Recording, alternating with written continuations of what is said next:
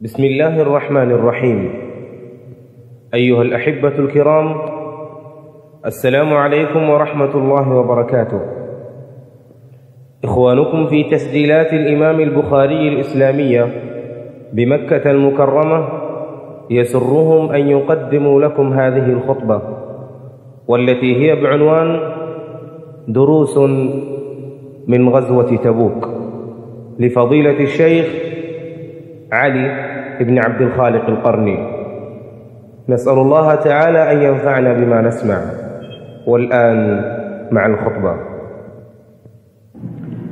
إن الحمد لله نحمده ونستعينه ونستغفره ونتوب إليه. ونعوذ بالله من شرور أنفسنا ومن سيئات أعمالنا. من يهده الله فلا مضل له ومن يضلل فلا هادي له. أشهد أن لا إله إلا الله وحده لا شريك له.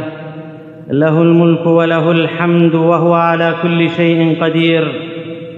وأشهد أن محمدا عبد الله ورسوله. أرسله الله رحمة للعالمين. فشرح به الصدور وأنار به العقول. وفتح به أعينا عميا وآذانا صما وقلوبا غلفا. صلى الله عليه وعلى آله وأصحابه والتابعين لهم بإحسان وسلم تسليما كثيرا. يا أيها الذين آمنوا اتقوا الله حق تقاته ولا تموتن إلا وأنتم مسلمون. يا أيها الذين آمنوا اتقوا الله وقولوا قولا سديدا. يصلح لكم أعمالكم ويغفر لكم ذنوبكم ومن يطع الله ورسوله فقد فاز فوزا عظيما. أما بعد عباد الله أوصيكم ونفسي بتقوى الله وأن نقدم لأنفسنا أعمالا تبيض وجوهنا يوم نلقى الله يوم لا ينفع مال ولا بنون إلا من أتى الله بقلب سليم. ثم اعلموا علم يقين أن حكمة الله اقتضت أن يكون الحق والباطل في خلاف دائم وصراع مستمر إلى أن يرث الله الأرض ومن عليها. كل ذلك ليميز الله الخبيث من الطيب فمذ بزغ نجم هذا الدين وأعداؤه من يهود ونصارى ومشركين يحاولون القضاء عليه بكل ما يستطيعون. يريدون ليطفئوا نور الله بأفواههم. والله متم نوره ولو كره الكافرون. حاول أعداء هذا الدين القضاء عليه في عهد النبي صلى الله عليه وسلم فما أفلحوا. وحاولوا في عهد الخلفاء الراشدين رضي الله عنهم فما أفلحوا. ثم في العصور المتأخرة إلى وقتنا هذا وهم يحاولون دائبين بالعنف والصراع المسلح تارة وبالمكر والخداع والخطط والمؤامرات تارة أخرى. ولسنا مجازفين والله عندما نقول ذلك فالله يقول ولا يزالون يقاتلونكم حتى يردوكم عن دينكم إن استطاعوا.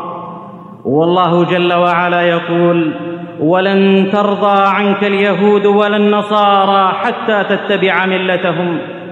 هذه شهادة الله على أعدائنا بما يريدونه منا. وأي شهادة أعظم من من شهادة الله وأصدق؟ والتاريخ في ماضيه وحاضره يشهد بذلك. لكن انى لهم أن يفلحوا ما تمسكنا بكتابنا وسنة نبينا محمد صلى الله عليه وسلم. كل العدا قد جندوا طاقاتهم ضد الهدى والنور ضد الرفعة. إسلامنا هو درعنا وسلاحنا ومنارنا عبر الدجى في الظلمة. هو بالعقيدة رافع أعلامه فامشي بظل لوائها يا أمتي. لا الغرب يقصد عزنا كلا ولا شرق التحلل إنه كالحية. الكل يقصد ذلنا وهواننا. أفغير ربي منقذ من شدتي.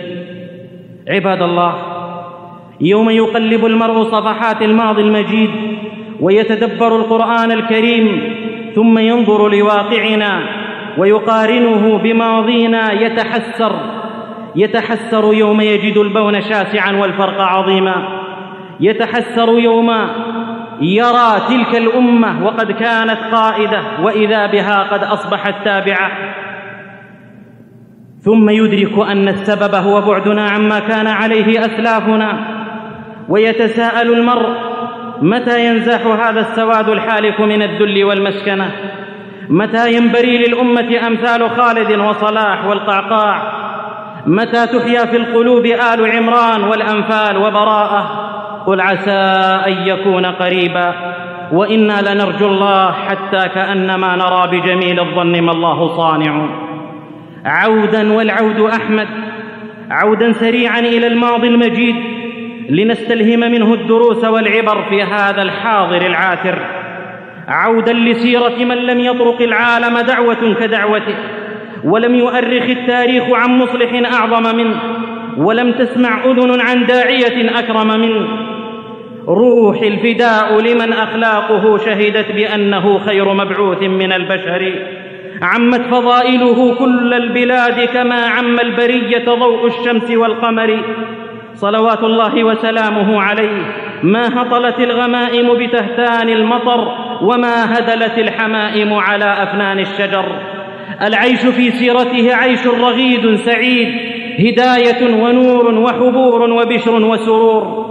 ما أحرانا ونحن في هذه الأيام العصيبة أن نخترق أربعة عشر قرنا لنعيش يوما من أيام محمد صلى الله عليه وسلم. بل ساعة من سويعاته الثمينة لنأخذ العبرة والدروس من تلك الساعة في هذه الساعة. اقرأوا التاريخ إذ فيه العبر ضل قوم ليس يدرون الخبر. عودا بكم إلى السنة التاسعة للهجرة والعود أحمد لنعيش معكم أحداث غزوة العسرة التي تساقط فيها المنافقون وثبت فيها المؤمنون وذل فيها الكافرون. ما السبب؟ وما الأحداث؟ ما آيات النبوة فيها؟ ما الدروس المستفادة؟ إليكموها فاسمعوها ووعوها واعتبروا بما فيها. واسألوا التاريخ عنا كيف كنا نحن أسسنا بناء أحمديا. بلغ النبي صلى الله عليه وسلم أن الروم تتجمع لحربه ولتهديد الدولة الإسلامية في ذلك الوقت. يريدون مبادرته بالحرب قبل أن يبادرهم لكونه قد أذاقهم مرارة غزوة مؤتة التي جلبوا لها مئتي ألف ولم يتمكنوا من إبادة ثلاثة آلاف مقاتل بل ولا هزيمتهم فيا لله. كنا جبالا في الجبال وربما صرنا على موج البحار بحارا. عند ذلك أعلن النبي صلى الله عليه وسلم ولأول مرة عن مقصده وأعلن التعبئة العامة فتجهز أقوام وأبطأ آخرون. تجهز ثلاثون ألف مقاتل قد باعوا أنفسهم من الله وأعلنوا نصرة لا إله إلا الله تساقط المنافقون ومن يرد الله ومن يرد الله فتنته فلن تجد له سبيلا. ها هو أحد المنافقين. يقول المصطفى صلى الله عليه وسلم له هل لك في جلاد بني الأصفر يعني الروم؟ فيقول يا رسول الله اذن لي ولا تفتني.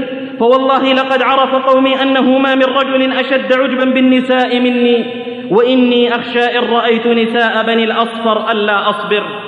فر من الموت وفي الموت وقع. أعرض عنه صلى الله عليه وسلم وعذره. لكن الذي يعلم خائنة الأعين والذي لا يخفى عليه شيء في الأرض ولا في السماء فضحه وأذله وأنزل فيه قرآنا يتلى. ومنهم من يقول ائذن ولا تفتني ألا في الفتنة سقطوا وإن جهنم لمحيطة بالكافرين. ويتخلف أناس آخرون عن الخروج لا رغبة بأنفسهم عن نفس رسول الله صلى الله عليه وسلم. لكن غلبتهم نفوسهم لصعوبة الظرف واشتداد الحر. قد آن أوان الرطب وظلال الأشجار فاعتذروا بعد عودة رسول الله صلى الله عليه وسلم وقبل عذرهم وتاب الله عليهم. وأرجأ توبة ثلاثة منهم امتحانا لهم. فمحصوا حتى ضاقت عليهم الأرض بما رحبت وضاقت عليهم أنفسهم وظنوا أن لا ملجأ من الله إلا إليه ثم تاب عليهم ليتوبوا إنه تواب رحيم. ويأتي سبعة رجال مؤمنين صادقين لكنهم فقراء لم يجدوا زادا ولا راحله وعز عليهم التخلف نيات صادقة لكن ليس هناك عدة. فأتى رسول الله صلى الله فأتوا رسول الله صلى الله عليه وسلم يقولون يا رسول الله لا زاد ولا راحلة ويبحث لهم صلى الله عليه وسلم عن زاد ولا راحلة عن زاد وراحلة فلا يجدوا ما يحملهم عليه فيرجعوا وأعينهم تفيض من الدمع حزنا ألا يجدوا ما ينفقون. يا لله ظل السيف للمسلم مثل ظل حديقة خضراء تنبت حولها الأزهار. وتدنو ثمار المدينة ويشتد الحر ويبتلي الله من يشاء من عباده أحسب الناس أن يتركوا أن يقولوا آمنا وهم لا يفتنون ويخرج صلى الله عليه وسلم ويستخلف على أهل بيته علي رضي الله عنه ويخيم صلى الله عليه وسلم في ثنية الوداع ومعه ثلاثون ألفا ويأتي المنافقون الذين لا يتركون دسائسهم وإرجافهم على مر الأيام يلاحقون أهل الخير والاستقامة يلمزون ويهمزون ويتندرون ويسخرون سخر الله منهم ويستهزئون والله يستهزئ بهم. يأتون إلى علي رضي الله عنه ويقولون ما خلفك رسول الله صلى الله عليه وسلم إلا استثقالا لك يريد التخفف منك.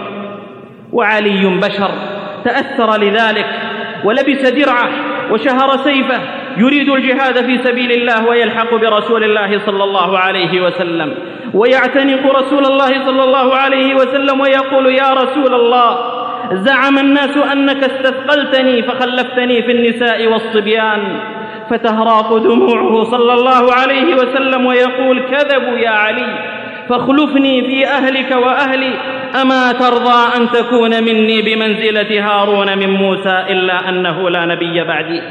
فيقول بلسان الحال بلى رضيت بلى رضيت. وعاد رضي الله عنه يدعو جهارا لا إله سوى الذي خلق الوجود وقدر الأقدار. وقبل مسير الحبيب محمد صلى الله عليه وسلم تقوم فرقة للصد عن سبيل الله تثبط الناس. بعد أن اجتمعت في بيت أحدها تقول وهي تزهد في الجهاد لا تنفر في لا تنفروا في الحر تشكك في الحق وترجف برسول الحق ويتولى الحق سبحانه الرد وقالوا لا تنفروا في الحر قل نار جهنم أشد حرا لو كانوا يفقهون. هم في مؤامرة الصد عن سبيل الله ويأمر صلى الله عليه وسلم بإحراق البيت عليهم وينفذ ذلك الأمر طلحة رضي الله عنه. فيقتحمون الأسوار خوفا من نار الدنيا فتنكسر رجل أحدهم ويفر الباقون ويعز جند الحق رغم أنوفهم ويخيب كل منافق خوان. ويتوجه صلى الله عليه وسلم ويمر بديار ثمود وما أدراكم ما تلك الديار. ديار غضب الله على أهلها فتلك بيوتهم خاوية وآبارهم معطلة. وأشجارهم مقطعة فيدخلها وقد غطى وجهه وهو يبكي ويقول لجيشه لا تدخلوها إلا باكين أو متباكين لئلا يصيبكم ما أصابهم. يا لله هذه أرض سكنها الظلمه فقولوا لي بالله في من يجالس الظلمه ويؤيد الظلمه ويركن إلى الظلمه ويكون لهم انيسا ولسانا وصاحبا كيف يكون حاله؟ ألا يخاف أن يغضب الله عليه فيأخذه أخذ عزيز مقتدر. ولا تركنوا إلى الذين ظلموا فتمسكم النار. ويستسقي الناس من بئر في ديار ثمود. فيقول صلى الله عليه وسلم لا تشربوا من مائها ولا تتوضأوا منه للصلاة. وما عجنتم من عجين بمائها فاعلفوه الإبل. ولا تأكلوا منه شيئا ففعلوا امتثالا لأمر رسول الله صلى الله عليه وسلم. ومع الغروب يعلن رسول الله صلى الله عليه وسلم أنها سوف تهب رياح شديدة فلا يخرج أحد من مخيمه إلا مع صاحب الله حتى تهدأ الريح وخالف أمره رجلان من المسلمين لضعف في إيمانهم خرج أحدهم ليقضي حاجته فخنقته الجن عند حاجته وخرج الآخر في طلب بعير له فاحتملته الريح حتى طرحته في جبال طي. فدعا رسول الله صلى الله عليه وسلم للذي أصيب بخنق الجن فشفي فكانت هذه آية من آيات نبوته صلى الله عليه وسلم. وأما الآخر فسلم للنبي صلى الله عليه وسلم عند عودته إلى المدينة. لا زال صلى الله عليه وسلم في طريقه إلى تبوك. قد بلغ به الجوع والتعب والإرهاق مبلغا عظيما لكن في سبيل الله يهون. ومع السحر ينام من التعب صلى الله عليه وسلم على دابته حتى يكاد يسقط كما في صحيح مسلم. فيقترب منه أبو قتادة فيدعمه بيده حتى يعتدل. ثم يميل أخرى فيدعمه أبو قتادة حتى يعتدل. ثم يميل ميلة أشد من الميلتين الأوليين حتى كاد يسقط فيدعمه بيده. فيرفع رأسه صلى الله عليه وسلم ويقول من هذا؟ قال أنا أبو قتادة. فيكافئه فبمكافاه قال حفظك الله بما حفظت نبي الله يا أبا قتادة يا أبا قتادة. يقول أهل العلم فوالله ما زال أبو قتادة محفوظا بحفظ الله في أهله وذريته ما أصابهم سوء حتى ماتوا. وهذا درس عظيم فإن من حفظ الله حفظه الله. لا خوف عليه إن صنائع المعروف تقي مصارع السوء وما جزاء الإحسان إلا الإحسان. وينزل صلى الله عليه وسلم والمؤمنون منزلا يقول عمر في ذلك المنزل وقد أصابنا عطش عظيم حتى ظننا أن رقابنا ستنقطع حتى إن الرجل لينحر بعيره فيعتصر فرثه فيشربه. وتظل راحلة النبي صلى الله عليه وسلم ويخرج أصحابه يبحثون عنها فيقوم أحد المنافقين فيقول يزعم محمد أنه نبي ويخبركم بخبر السماء وهو الآن لا يدري أين ناقته. ويأتي جبريل رسول الله صلى الله عليه وسلم بالخبر ويقول إن رجلا منكم يقول إن محمدا يزعم أنه نبي ويخبركم بأمر السماء وهو لا يدري أين ناقته. وإني والله ما أعلم إلا ما علمني الله. وقد دلني عليها وقد دلني الله عليها يقوله النبي صلى الله عليه وسلم. هي في هذا الوادي في شعب كذا قد حبستها شجرة بزمامها فانطلقوا حتى تأتوني بها. فذهبوا فوجدوها كما ذكر صلى الله عليه وسلم وظهرت آية نبوته وفضح هذا المنافق وطرد عدو الله من جيش محمد رسول الله صلى الله عليه وسلم. ويمضي صلى الله عليه وسلم في مسيره إلى تبوك ويتخلف عنه بعض المسلمين فيقول الصحابة فلان تخلف يا رسول الله فيقول دعوه إن يك فيه خير فسيلحقه الله بكم وإن يك غير ذلك فقد أراحكم الله منه. ويتأخر أبو ذر بعيره هزيل أبطأ به بعيره فترك بعيره وأخذ متاعه وحمله على ظهره. وينزل رسول الله صلى الله عليه وسلم في بعض منازله على الطريق وينظر ناظر المسلمين ويقول يا رسول الله رجل يمشي على الطريق وحده متاعه متاعه على ظهره. فقال صلى الله عليه وسلم كن أبا ذر كن أبا ذر. فيتأمل الصحابة ثم يقولون هو والله أبو ذر يا رسول الله. فقال صلى الله عليه وسلم رحم الله أبا ذر يمشي وحده ويموت وحده ويبعث وحده. وتمضي الأيام على هذه المقولة. وتمضي الأعوام وينفى أبو ذر إلى الربذة ويحضره الموت هناك وليس معه إلا امرأته وغلامه وقبل موته أوصاهما أن يغسلاه ويكفناه ويضعاه على الطريق وأول ركب يمر بهم يقول هذا أبو ذر صاحب رسول الله صلى الله عليه وسلم فأعينونا على دفنه ويفعلان ذلك ويأتي عبد الله بن مسعود في رهط من أهل العراق ليعتمروا. وما راعهم إلا الجنازة على قارعة الطريق كادت الإبل أن تطأها. عندها قام غلام أبي ذر وقال هذا أبو ذر صاحب رسول الله صلى الله عليه وسلم فأعينونا على دفنه. فاندفع عبد الله بن مسعود باكيا يقول صدق رسول الله تمشي وحدك وتموت وحدك. ثم نزل هو وأصحابه. فدفنوه ودموعهم تهراق على خدودهم وليس الذي يجري من العين ماؤها ولكنها روح تسيل فتقطر. وينتهي المسير بمحمد صلى الله عليه وسلم إلى تبوك ويقيم بضع عشرة ليلة حافلة بالأحداث المثيرة. روى البيهقي من حديث يزيد بن هارون أنه صلى الله عليه وسلم لما نام ليلة في تبوك أتاه جبريل عليه السلام وقال يا رسول الله قم صل صلاة الغائب على معاوية بن معاوية الليثي. فقد توفي بالمدينة. من يا ترى معاوية؟ صالح عابد يذكر الله قائما وقاعدا وعلى جنب. وكان صلى الله وكأن صلى الله عليه وسلم يتساءل لما فأخبر أنه كان يقرأ قل هو الله أحد قائما وقاعدا وعلى جنب بالليل والنهار. وقد توفي بالمدينة وصلي عليه هناك وشهد الصلاة عليه صفان من الملائكة في كل صف سبعون ألف ملك. فلا إله إلا الله. قام صلى الله عليه وسلم وصلى عليه وكان قد سافر صلى الله عليه وسلم إلى تبوك وهو مريض فهنيئا له دعاء رسول الله صلى الله عليه وسلم وصلاة الملائكة عليه. لا زالت الأحداث المثيرة تتوالى في تبوك. يقول ابن مسعود رضي الله عنه ونمنا تلك الليلة وانتبهت في وسط الليل فالتفت إلى فراش رسول الله صلى الله عليه وسلم فلم أجده إلى فراش أبي بكر فلم أجده إلى فراش عمر فلم أجده وإذ بنار وسط الليل تضيء آخر المعسكر فذهبت أتبعها فإذا برسول الله صلى الله عليه وسلم قد حفر قبرا ومعه أبو بكر وعمر وعند رسول الله صلى الله عليه وسلم سراج بيده قد نزل وسط القبر. قال قلت يا رسول الله من الميت؟ قال هذا أخوك عبد الله ذو البجادين. من هو؟ إنه أحد الصحابة.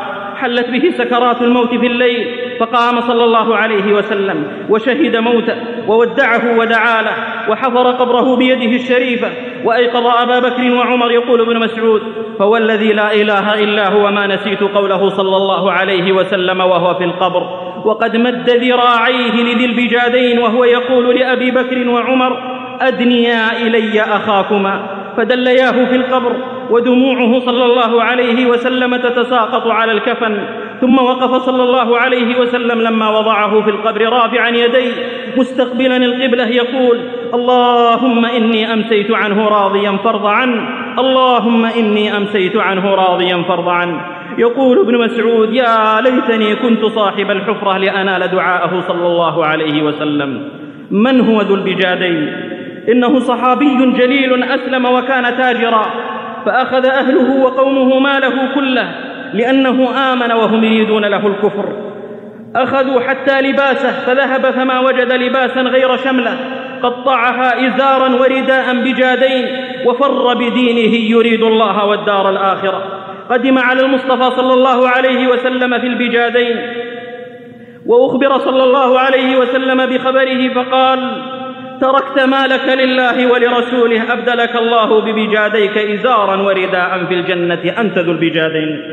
فلقب من تلك اللحظة بذي البجادين وكان مصرعه في تبوك ومضى الركب وخلفوه هناك لكنهم يجتمعون معه في جنة عرضها السماوات والأرض. يوم لا يخزي الله النبي والذين آمنوا معه نورهم يسعى بين أيديهم وبأيمانهم. ويقيم صلى الله عليه وسلم بتبوك. ويدنو من الروم ويفزعهم ويكاتب رسلهم ويفرض عليهم الجزية وهم صاغرون ولم يلق كيدا منهم لأن الله قد نصره بالرعب مسيرة شهر فلم يقرب إليه الروم خوفا وفزعا وقد كانوا قبل قد عزموا على غزوه في عقر داره إنهم يكيدون كيدا وأكيد كيدا فمهل الكافرين أمهلهم رويدا ويرسل صلى الله عليه وسلم خالدا على رأس أربعمائة مجاهد في سبيل الله إلى اكيدر ملك دومة الجندل. ويخبر صلى الله عليه وسلم خالدا أنه سيلقاه يصيد بقر الوحش. خرج خالد ولما بلغ قريبا من حصنه وجده قد خرج للصيد كما أخبر النبي صلى الله عليه وسلم.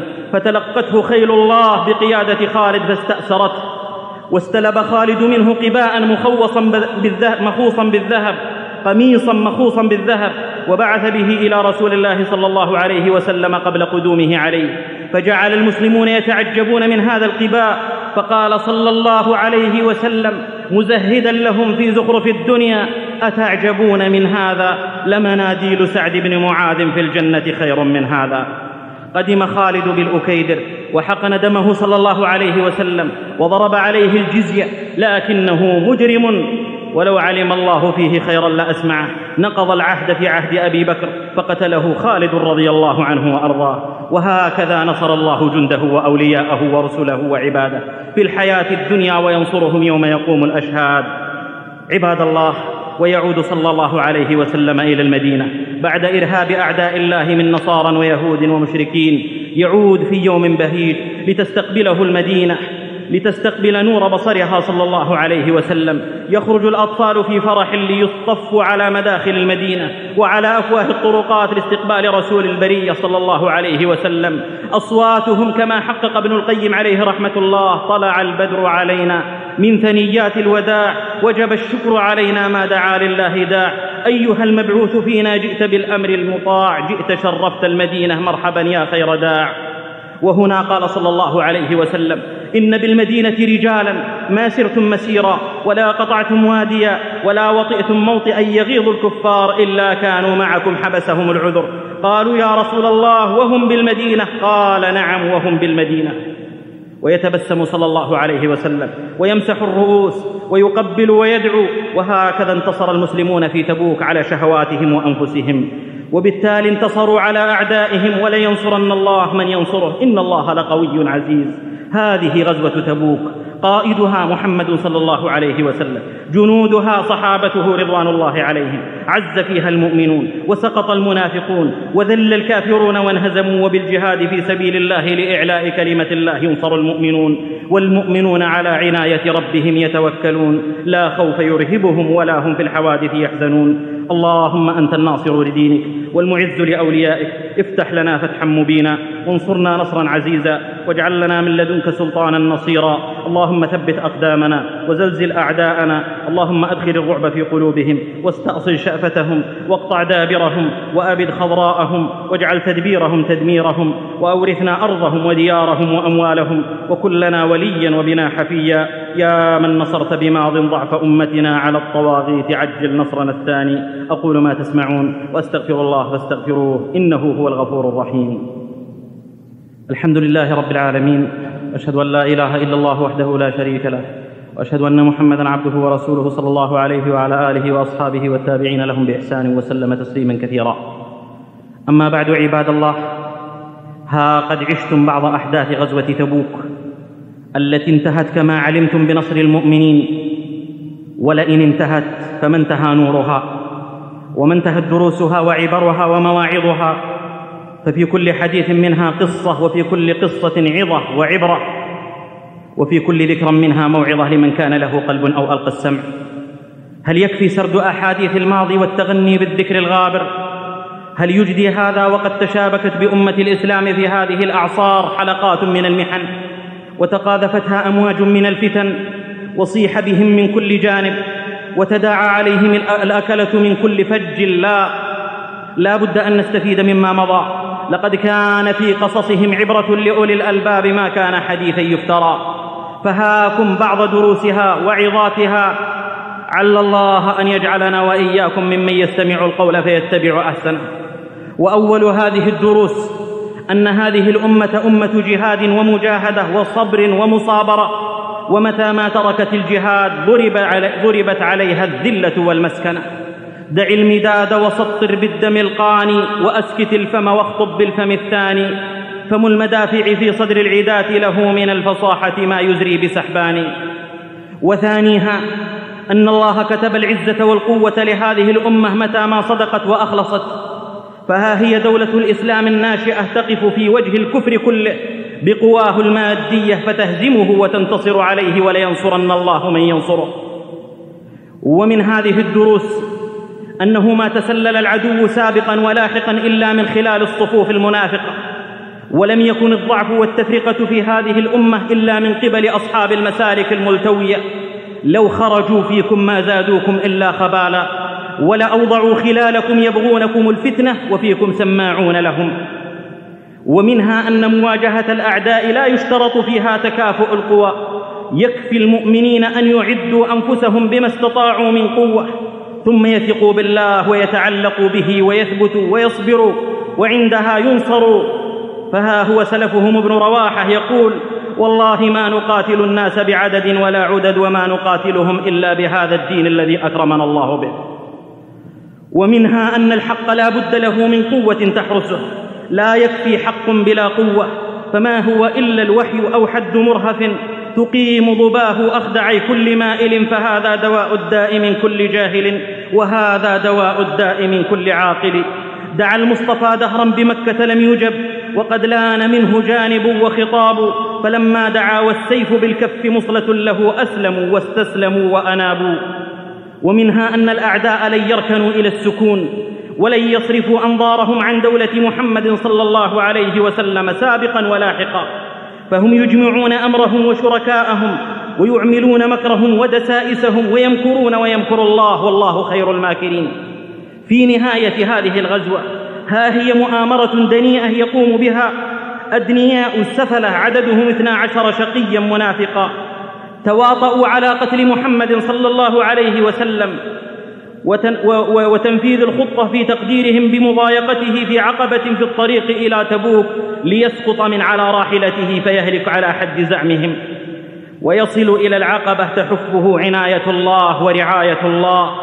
حذيفة آخذ بخطام ناقته وعمار يسوقها وإذ بالأشقياء يعترضون الناقة لينفذوا مخطط الشقاء والعار فيصرخ فيهم رسول الله صلى الله عليه وسلم فيولوا مدبرين ويحفظ الله سيد المرسلين وينزل الله قوله في المنافقين وهموا بما لم ينالوا ويرسل بعدها صلى الله عليه وسلم عليهم سهما إلى الحي القيوم الذي لا يخفى عليه شيء في الأرض ولا في السماء إذ يدعو الله عليهم أن يهلكهم فيصاب كل واحد منهم بخراج يخرج في ظهر الواحد منهم ويدخل إلى قلبه فلم ينج منهم أحد فإلى جهنم وبئس القرار. ومن دسائس أعداء الله أنهم أرسلوا لكعب بن مالك رضي الله عنه يوم أمر النبي صلى الله عليه وسلم بهجره. أرسلوا إليه يقولون له بلغنا أن صاحبك جفاك ولم يجعلك الله بدار هوان ولا مضيعة فالحق بنا نواسك. لكن كعبا مؤمن علم أن هذا من الابتلاء فيمم التنور فاوقد أوقده بالرسالة وما كيد الكافرين إلا في ضلال. عباد الله هذا هو ديدن أعداء الإسلام في الغابر والحاضر في كل زمان ومكان. يتحسسون الأنباء ويترصدون ويتربصون بالإسلام وأهله. وكم من أقدام في مثل هذا زلت وكم من أرجل في مثل هذه الأوحال قد انزلقت. أما كعب فيممها التنور وسجرها وكم في الأمة من أمثال كعب فدت نفسي وما ملكت يميني فوارث صدق صدقت فيهم ظنوني. ومن هذه الدروس إن العقيدة في قلوب رجالها من ذرة أقوى وألف مهند. قضى الله أنه متى ما حادت الأمة عن عقيدتها وتعلقت بهذا أو بذاك إلا وتقلبت في ثنايا الإهانات والنكبات والنكسات حتى ترجع إلى كتاب ربها وسنة نبيها. من يتق الله وينصر دينه لا بد في ساح المعارك ينصر. ألا وإن من أعظم الدروس وليكن الأخير من غزوة تبوك.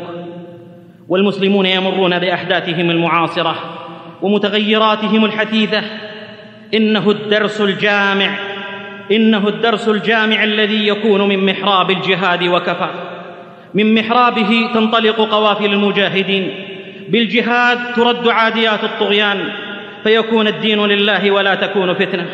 جهاد بالمال والنفس واللسان والسنان ويبقى دين محمد صلى الله عليه وسلم مهيمنا.